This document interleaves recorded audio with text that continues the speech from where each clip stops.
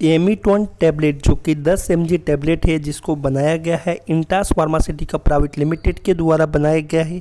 एमिट्रेप्टिन 10 M रहता है और ये टैबलेट जो कि यूज़ होता है एंटी डिप्रेशन की तरह ये टैबलेट है, जो कि ट्रीटमेंट करता है। डिप्रेशन का, न्यूरोपैथी पेन का और माइग्रेन्स का ये टैबलेट ट्रीटमेंट करता है। तो इस वीडियो में मैं इसका यूज़र्स, बेनिफिट, साइड इफ़ेक्ट कैसे यूज़ होता है, ड्रग कैसे काम करेगा, सेफ्टी एडवाइस क्या रखने का, डोज में जाए तो कैसे लेने का और इसका सब्सिट्यूट कौन कौन सा अवेलेबल है?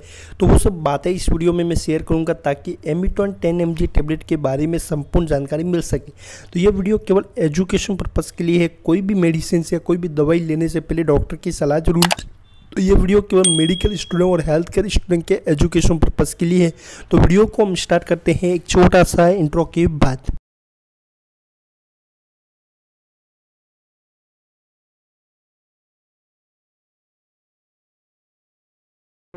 एमिटोन टेन एम टेबलेट जो कि बनाई जाती है इंटास फार्मासिटिका प्राइवेट लिमिटेड के द्वारा बनाई जाती है। इसके अंदर जो दवाई डाली गई है, वो एमिट्रिप्टिन टेन एम रहता है और ये 10 गोली का पूरा स्ट्रिप रहता है, जिसका एम आर पी उन्नीस रहता है।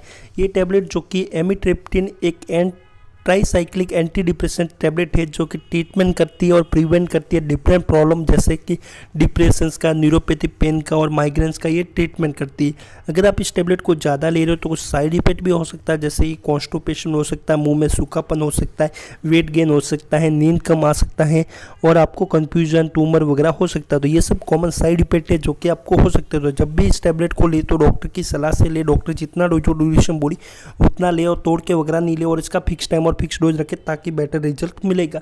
तो एमिटोन टेन एम टेबलेट काम कैसे करती है? तो इसके मैकेनिज्म की बात करो तो इसके अंदर जो दवाई डाली गई है, वो amitriptyline tricyclic anti depression tablet है, जो कि क्या करती है कि anti choline and sedative property रखती है, जिससे क्या होता है कि इनएक्टिव न्यूरो को नॉन एडेनिन और सेरोटिन को एक्टिव कर देती है ब्रेन तक, जिससे क्या होता है कि जो मोनो अमीनो न्यूरो रहता है, वो वापस एक्टिव हो जाता है, जिससे क्या होता है कि डिप्रेशन कम हो जाता है और आपको न्यूरोपैथी पेन कम हो जाता है और आपको माइग्रेन नहीं होता। तो ऐसे काम करती है टेबलेट। तो इस टेबलेट के बारे में अगर आपको कुछ भी डाउट रहे तो कमेंट सेक्शन में पूछ सकते हो। अदरवाइज़ जो डिस्क्रिप्शन में ईमेल आईडी है, वहाँ पे पूछ सकते हो। चैनल पे और वीडियो पे पहली बार आप विज़िट किए तो हमारे चैनल को ज़रूर सब्सक्राइब करें। साथ में जो बेल आइकन है, उसको दबाए, ताकि जब भी मैं नेक्स्ट वीडियो अपलोड करूँ तो आप तक एक नोटिफिकेशन पहुँच जाए। तो आज के लिए इतना ही। मिलते हैं नेक्स्ट नेक्स्ट वीडियो में तब तक के लिए अपना ख्याल रखें।